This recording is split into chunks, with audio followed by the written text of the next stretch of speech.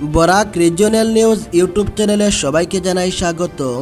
প্রতিদিন বরাক উপত্যকা সহ সমগ্র আসামের গুরুত্বপূর্ণ আঞ্চলিক সংবাদ পেতে চ্যানেলটি সাবস্ক্রাইব করে সঙ্গে থাকবেন।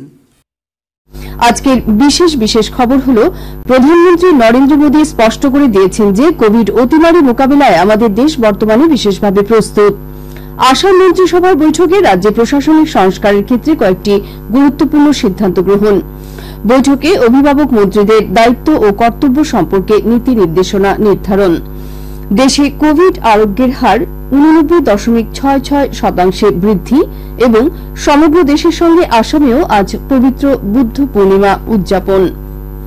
কোভিডের সংক্রমণ বৃদ্ধি পাবার পরিপ্রেক্ষিতে আমরা শ্রোতাদের কোভিডের সব নীতি নির্দেশিকা পালন করা সহ সাবধানতাসমূহ মেনে চলতে এবং কোভিড উনিশের প্রতিষেধকের প্রথম ডোজ গ্রহণ করা চুয়াল্লিশ বছরের উপরে সবাইকে বিনা দ্বিধায় নির্ধারিত সময়ে দ্বিতীয় ডোজ গ্রহণ করার অনুরোধ জানাচ্ছে। মাস্ক পরুন, ঘন ঘন হাত, মুখ ধুন এবং পরস্পরের মধ্যে দুগজ দূরত্ব বজায় রেখে কোভিডকে পরাজিত করুন। এবারে বিস্তারিত খবর। প্রধানমন্ত্রী নরেন্দ্র মোদী স্পষ্ট করে দিয়েছেন যে কোভিড অতিমারি মোকাবিলায় আমাদের দেশ বর্তমানে বিশেষভাবে প্রস্তুত রয়েছে। সময় অতিবাহিত হবার সঙ্গে সঙ্গে এই রোগের প্রাদুর্ভাব রোধে গৃহীত কৌশল অধিক শক্তিশালী করে তোলার পরিবেশ গড়ে উঠেছে বলে তিনি মন্তব্য করেন। বুদ্ধ পূর্ণিমা উপলক্ষে ভিডিও কনফারেন্সিং ব্যবস্থার মাধ্যমে আয়োজিত ভেসাক বিশ্বব্যাপী অনুষ্ঠানে প্রদত্ত ভাষণে প্রধানমন্ত্রী বলেন, এই অতিমারিকে পরাস্ত করা ও জীবন রক্ষার জন্য প্রয়োজনীয় প্রতিষেধক বর্তমানে দেশে মজুত রয়েছে। কোভিড উনিশ প্রতিষেধক উদ্ভাবনের কাজের সঙ্গে যুক্ত বিজ্ঞানীদের প্রচেষ্টার খোঁজ খবর নেওয়া সহ নিজের জীবন বিপন্ন করে অন্যের সহায়তায় নিঃস্বার্থভাবে কাজ করা প্রথম সারির কর্মী, স্বাস্থ্যকর্মী, চিকিৎসক ও নার্সদের প্রতি তিনি কৃতজ্ঞতা জ্ঞাপন করেন। এছাড়া প্রধানমন্ত্রী এই অতিমারিতে আপনজনকে হারানো সব লোকেদের প্রতি সমবেদনা জ্ঞাপন করেন। তিনি বলেন যে এই অতিমারি অর্থনীতিতে বিশেষ প্রভাব ফেলেছে, যার ফলে সমগ্র বিশ্ব পুনরায় পূর্বের পরিস্থিতিতে ফিরে আসবে না। গৌতম বুদ্ধের জীবনী শান্তি, সম্প্রীতি ও ঐক্যের বার্তা বহন করলেও বর্তমানে কিছু অশুভ শক্তি, ঘৃণা, সন্ত্রাস ও হিংসাত্মক কার্যকলাপে লিপ্ত রয়েছে বলে শ্রী মোদী উল্লেখ করেন। উল্লেখ্য, আন্তর্জাতিক বৌদ্ধ ধর্মী মহাসংঘ, আইবিসির সহযোগিতায় কেন্দ্রীয় সাংস্কৃতিক মন্ত্রণালয় আয়োজিত এই অনুষ্ঠানে সমগ্র বিশ্বের বৌদ্ধ সংঘগুলির প্রধানরা অংশগ্রহণ করেন। মুখ্যমন্ত্রী ড হিমন্ত বিশ্ব শর্মার পৌরোহিত্যে আজ অনুষ্ঠিত মন্ত্রিসভার বৈঠকে প্রশাসনিক সংস্কারের ক্ষেত্রে কয়েকটি গুরুত্বপূর্ণ সিদ্ধান্ত গ্রহণ করা হয়েছে। মন্ত্রিসভার সিদ্ধান্ত অনুযায়ী কুশল কোঁড় সার্বজনীন বৃদ্ধ পেনশন, বিধবা পেনশন ও দীনদয়াল দিব্যাঙ্গ যোজনা ইত্যাদি প্রকল্পের জন্য আর্থিক অনুমোদন চেয়ে এখন থেকে অর্থ বিভাগে কোনো ফাইল প্রেরণ করার প্রয়োজন হবে না। সংশ্লিষ্ট বিভাগের প্রবীণ সচিব নিজস্বভাবে এই অর্থ হিতাধিকারীদের দিতে পারবেন। এছাড়া এই প্রকল্পগুলির হিতাধিকারীরা এখন থেকে প্রতি মাসের দশ তারিখ ব্যাংক অ্যাকাউন্ট মারফত প্রাপ্য অর্থ লাভ করতে পারবেন। আজকের বৈঠকে বড়োল্যান্ডে কল্যাণ বিভাগ নামে একটি পৃথক বিভাগ সৃষ্টি করার বিষয়েও অনুমোদন জানানো হয়। আসাম সরকার রাজ্যের চৌত্রিশটি জেলার প্রশাসনিক কাজকর্ম দেখাশোনা করার জন্য তেরো জন অভিভাবক মন্ত্রী নিয়োগ করেছে। আজ মুখ্যমন্ত্রী ড হিমন্ত বিশ্ব শর্মার পৌরোহিত্যে অনুষ্ঠিত রাজ্য মন্ত্রিসভার তৃতীয় বৈঠকে এই সিদ্ধান্ত গ্রহণ করা হয়। সে অনুযায়ী রাজ্যের বন, পরিবেশ, মৎস্য ও আবগারি বিভাগের মন্ত্রী পরিমল শুক্লবুদ্ধকে করিমগঞ্জ, হাইলাকান্দি ও হোজাই জেলার অভিভাবক মন্ত্রীর দায়িত্ব প্রদান করা হয়েছে। একজন সচিব পর্যায়ের আধিকারিককে অভিভাবক মন্ত্রীদের সহায়তা করার জন্য নিয়োজিত করা হবে। অভিভাবক মন্ত্রীদের প্রতি মাসে মাসে একবার নিজস্ব জেলা সদর পরিদর্শন করে সরকারি বিভিন্ন নিয়মনীতি প্রশাসনিক সংস্কার, জনকল্যাণমূলক প্রকল্প সঠিকভাবে রূপায়ণ ইত্যাদি বিষয় তদারকি করে মুখ্যমন্ত্রীর কাছে প্রতিবেদন দাখিল করতে হবে। অভিভাবক মন্ত্রীদের প্রতি মাসে একবার করে নিজস্ব জেলাগুলি পরিদর্শন করা ছাড়াও জরুরিকালীন অবস্থা যেমন বন্যা বা যে কোনো প্রাকৃতিক দুর্যোগের সময়ও জেলা সফর করতে হবে। সমগ্র রাজ্যে নৈশ সান্ধ্য আইনের মেয়াদ আগামী পাঁচ জুন পর্যন্ত বৃদ্ধি করা হয়েছে। রাজ্য দুর্যোগ ব্যবস্থাপনা কর্তৃপক্ষ গতকাল এ সম্পর্কিত এক নির্দেশ জারি করেছে। সে অনুসারে এখন থেকে গ্রামাঞ্চলে দুপুর একটায় সব দোকান ও ব্যবসায়িক প্রতিষ্ঠান বন্ধ করতে হবে। একই সঙ্গে ব্যক্তিগত এবং সরকারি কার্যালয়গুলিও দুপুর একটায় বন্ধ করতে হবে। নতুন নির্দেশ অনুসারে গ্রামাঞ্চলে সান্ধ্য আইনের সময় দুপুর দুটো থেকে ভোর পাঁচটা পর্যন্ত অব্যাহত থাকবে। এদিকে শহরাঞ্চলে পূর্বে প্রদান করা নির্দেশ বহাল থাকবে। অন্যদিকে আন্তজেলা যাতায়াতের ক্ষেত্রে নিষেধাজ্ঞাও আগামী পাঁচ জুন পর্যন্ত বহাল থাকবে বলে কর্তৃপক্ষ নির্দেশ জারি করেছে। কাছাড় ও হাইলাকান্দি জেলায়ও রাজ্য দুর্যোগ ব্যবস্থাপনা কর্তৃপক্ষের নির্দেশে এই নতুন বিধিনিষেধ আগামী পাঁচ জুন পর্যন্ত বলবৎ থাকবে। দুই জেলা প্রশাসনের পক্ষ থেকে এই নির্দেশ জানিয়ে দিতে আজ কাছাড় ও হাইলাকান্দি জেলার গ্রামাঞ্চলে মাইক যোগে ব্যাপক প্রচার চালানো হয়। মুখ্যমন্ত্রী ড হিমন্ত বিশ্ব শর্মা গোসাইগাঁও সমষ্টির বিধায়ক মাজেন্দ্র নার্জারের মৃত্যুতে গভীর শোক প্রকাশ করেছেন। আজ এক বিবৃতিতে মুখ্যমন্ত্রী বলেন যে, চারবার গোসাইগাঁও সমষ্টিকে প্রতিনিধিত্ব করা মাজেন্দ্র নার্জারি এই সমষ্টির আর্থসামাজিক বিকাশ সহ কোকরাঝাড় জেলার সমাজ জীবনে যে অবদান রেখে গেছেন, তা সকলে শ্রদ্ধার সঙ্গে স্মরণ করবে। মুখ্যমন্ত্রীর পৌরোহিত্যে আজ অনুষ্ঠিত মন্ত্রিসভার বৈঠকে নার্জারির মৃত্যুতে শোক প্রকাশ করে দু মিনিট নীরবতা পালন করা হয়। এদিকে রাজ্যের বন ও পরিবেশ, মিন ও আবগারি মন্ত্রী পরিমল শুক্লবৈদ্য এবং হস্ততাঁত বস্ত্র শিল্প বিভাগের মন্ত্রী উর্খাও গাওড়া ব্রহ্ম আজ মাজেন্দ্র নার্জারির বাসভবনে গিয়ে তার মরদেহে রাজ্য সরকারের পক্ষ থেকে পুষ্পার্ঘ্য অর্পণ করে শেষ শ্রদ্ধা জানান এবং শোক সন্তপ্ত পরিবারের প্রতি সমবেদনা জ্ঞাপন করেন। রাজ্যের মুখ্যমন্ত্রী ড হিমন্ত বিশ্ব শর্মা কোভিড প্রতিরোধী ঔষধ প্রস্তুত করার ক্ষেত্রে উল্লেখযোগ্য অবদানের জন্য ড জুবিলি পুরকায়স্থকে অভিনন্দন জানিয়েছেন।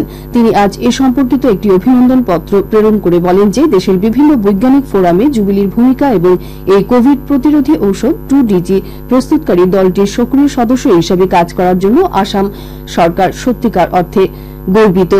মুখ্যমন্ত্রী ড শর্মা গবেষণা ও উন্নয়নে তার গুরুত্বপূর্ণ ভূমিকার জন্য ধন্যবাদ জানান এবং রাজ্যকে গৌরবান্বিত করতে তার সেবা অব্যাহত থাকবে বলে আশা প্রকাশ করেন। উল্লেখ্য ড জুবিলি পুরকায়স্থ করিমগঞ্জ জেলার ভারত বাংলাদেশ সীমান্তের মহিশাসন গ্রামের বাসিন্দা। এদিকে করিমগঞ্জের জেলা উপায়ুক্ত খড়গেশ্বর পেগুও ড পুরকায়স্থকে অভিনন্দন জানিয়ে তার ভবিষ্যৎ প্রচেষ্টাগুলির সফলতা কামনা করেন। কেন্দ্রীয় তদন্তকারী সংস্থা সিবিআই এর সঞ্চালক হিসেবে সুবোধ কুমার জয়সওয়াল আজ দায়িত্বভার গ্রহণ করেছেন। তাকে দু বছরের সময়সীমার জন্য এই পদে নিযুক্তি দেওয়া হয়েছে। উনিশশো পঁচাশি ব্যাচের মহারাষ্ট্র ক্যাডারের আইপিএস আধিকারিক শ্রী জয়সওয়াল, প্রধানমন্ত্রী নরেন্দ্র মোদী নেতৃত্বাধীন এবং দেশের মুখ্য বিচারপতি এন ভি রামানা ও লোকসভার কংগ্রেস নেতা অধীর রঞ্জন চৌধুরীকে নিয়ে গঠিত এক উচ্চ পর্যায়ের কমিটি দ্বারা নির্বাচিত হয়েছেন। শ্রী জয়সওয়াল কেন্দ্রীয় শিল্প সুরক্ষা বাহিনীর সঞ্চালক প্রধান হিসেবেও কর্মরত ছিলেন। আকাশবাণী শিলচর কেন্দ্রের আঞ্চলিক সংবাদ। এখন থেকে আমাদের ফেসবুক পেজে লাইভ শুনতে পাওয়া যাচ্ছে। এছাড়া আমাদের YouTube channel AIR news Silchar অফিসিয়ালের মাধ্যমেও এই সংবাদ শোনা যাচ্ছে। খবর শুনছেন আকাশবাণী শিলচর কেন্দ্র থেকে। দেশে প্রতিদিন কোভিড থেকে সুস্থ হওয়ার সংখ্যা বৃদ্ধি পাচ্ছে এবং কোভিড আক্রান্তের সংখ্যা নিয়মিত কমে আসছে। গত চব্বিশ ঘন্টায় দেশে দু লক্ষ পঁচানব্বই হাজারেরও অধিক লোক কোভিড থেকে আরোগ্য লাভ করেছে এবং করেছেন এবং দু লক্ষ আট হাজার লোক কোভিড উনিশে আক্রান্ত হয়েছেন। সে অনুসারে কোভিড থেকে আরোগ্যের হার হচ্ছে উননব্বই দশমিক ছয় ছয় শতাংশ। এদিকে কেন্দ্রীয় স্বাস্থ্য মন্ত্রণালয় থেকে জানানো হয়েছে যে দেশের বিভিন্ন রাজ্য ও কেন্দ্রীয় শাসিত অঞ্চলগুলির কাছে বর্তমানে এক কোটি সাতাত্তর লক্ষেরও অধিক কোভিড টিকা মজুত রয়েছে। মন্ত্রণালয় আরও জানিয়েছে যে আগামী তিন দিনের মধ্যে বিভিন্ন রাজ্য ও কেন্দ্রীয় শাসিত অঞ্চলগুলিতে এক লক্ষ কোভিড টিকা প্রদান করা হবে। কাছাড় জেলায় আজ আরও চারশো তেতাল্লিশ জন নতুন করে কোভিড উনিশে আক্রান্ত হয়েছেন। এর মধ্যে দুশো তেতাল্লিশ জনকে র্যাপিড অ্যান্টিজেন টেস্টের মাধ্যমে এবং দুশো জনকে আরটিপিসিআর এর মাধ্যমে শনাক্ত করা হয়েছে। এদিকে হাইলাকান্দি জেলায় আরও একশো উনপঞ্চাশ জন কোভিড উনিশে আক্রান্ত হয়েছেন। এর মধ্যে একশো উনত্রিশ জনকে র্যাপিড অ্যান্টিজেন টেস্টের মাধ্যমে এবং কুড়ি জনকে আরটিপিসিআর এর মাধ্যমে শনাক্ত করা হয়েছে। জেলায় আজ তেইশ জনকে সুস্থ করে ছেড়ে দেওয়া হয়েছে। জেলায় বর্তমানে আটশো উনষাট জন কোভিড রোগে চিকিৎসাধীন রয়েছেন। মেঘালয়ে গত চব্বিশ ঘন্টায় আরও আটশো ছেচল্লিশ জন নতুন করে কোভিড উনিশে আক্রান্ত হয়েছেন এবং দশ জন কোভিড রোগে মৃত্যু হয়েছে। রাজ্যের স্বাস্থ্য বিভাগ থেকে জানানো হয়েছে যে দশ জনের মৃত্যু হয়েছে। তার মধ্যে আটজন পূর্ব খাসি পার্বত্য জেলা থেকে এবং একজন করে পশ্চিম ও পূর্ব জয়ন্তিয়া পার্বত্য জেলা থেকে রয়েছেন। রাজ্যে বর্তমানে আট হাজার পঞ্চান্ন জন কোভিড রোগী চিকিৎসাধীন রয়েছেন। দেশে এ পর্যন্ত কুড়ি কোটি ছ লক্ষ বাষট্টি হাজার ছশো চারশো পঁয়ষট্টি জন কোভিড টিকা গ্রহণ করেছেন। এর মধ্যে পনেরো কোটি একাত্তর লক্ষ কোভিড টিকার প্রথম ডোজ এবং চার কোটি পঁয়ত্রিশ লক্ষ কোভিড টিকার দ্বিতীয় ডোজ গ্রহণ করেছেন। দেশ টিকাকরণ অভিযানের একশো দিনে এই সফলতা অর্জন করেছে। এদিকে দেশে কোভিড টিকাকরণ অভিযান খুব সুন্দর ও সুষ্ঠুভাবে পরিচালিত হচ্ছে বলে কেন্দ্রীয় মন্ত্রী ড. জিতেন্দ্র সিং মত প্রকাশ করেছেন। ড. সিং বলেন যে একশো পঁয়ত্রিশ কোটি জনসংখ্যার দেশে বিভিন্ন বৈচিত্র্য এবং মতাদর্শ থাকা সত্ত্বেও টিকাকরণ অভিযানটি গণ আন্দোলনে রূপান্তরিত হয়েছে। আজ বুদ্ধ জয়ন্তী। ভগবান বুদ্ধ বর্তমানে নেপালের লুম্বিনীতে পাঁচশো তেষট্টি খ্রিস্টপূর্বের পূর্ণিমার দিন জন্মগ্রহণ করেছিলেন। এজন্য এই দিনটিকে বুদ্ধ পূর্ণিমাও বলা হয়।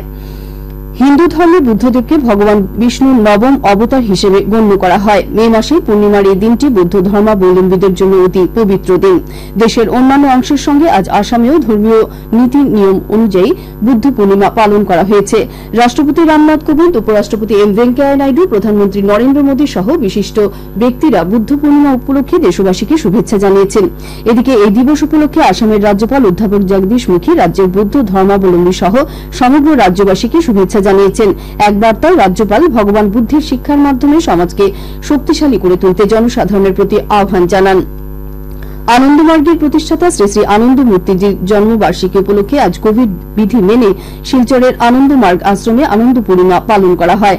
মার্গ গুরুর জন্মলগ্নে শঙ্খধ্বনি ও পুষ্পার্ঘ্য অর্পণের মাধ্যমে অনুষ্ঠানের সূচনা হয়। পরে প্রভাত সংগীত, কীর্তন ও আনন্দবাণী পাঠ করা হয়। এআইডিএসওর কাছাড় জেলা কমিটি আজ কাজী নজরুল ইসলামের জন্মজয়ন্তী উদযাপন উপলক্ষে নানা কার্যসূচির আয়োজন করে- আজ সকালে শিলচরে নজরুল ইসলামের মূর্তিতে মাল্যদান করে শ্রদ্ধা জানান সংগঠনের জেলা সম্পাদক গৌরচন্দ্র দাস আপনলাদ দাস প্রমুখ।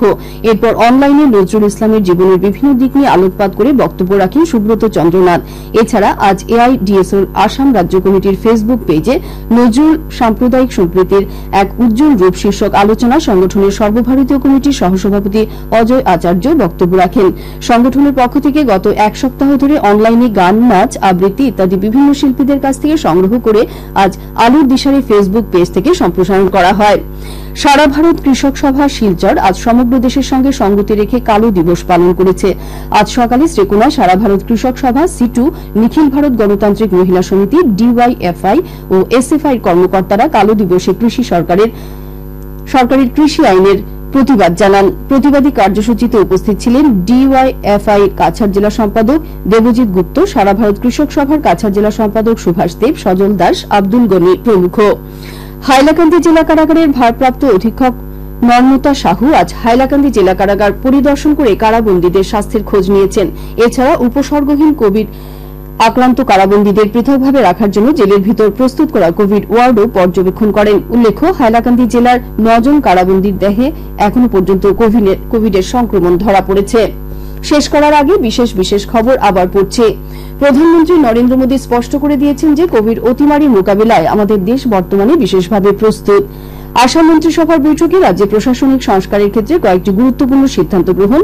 বৈঠকে অভিভাবক মন্ত্রীদের দায়িত্ব ও কর্তব্য সম্পর্কে নীতি নির্দেশনা, নির্ধারণ এবং সমগ্র দেশের সঙ্গে আসামেও আজ পবিত্র বুদ্ধ পূর্ণিমা উদযাপন। আঞ্চলিক সংবাদ, এখনকার মতো শেষ হল।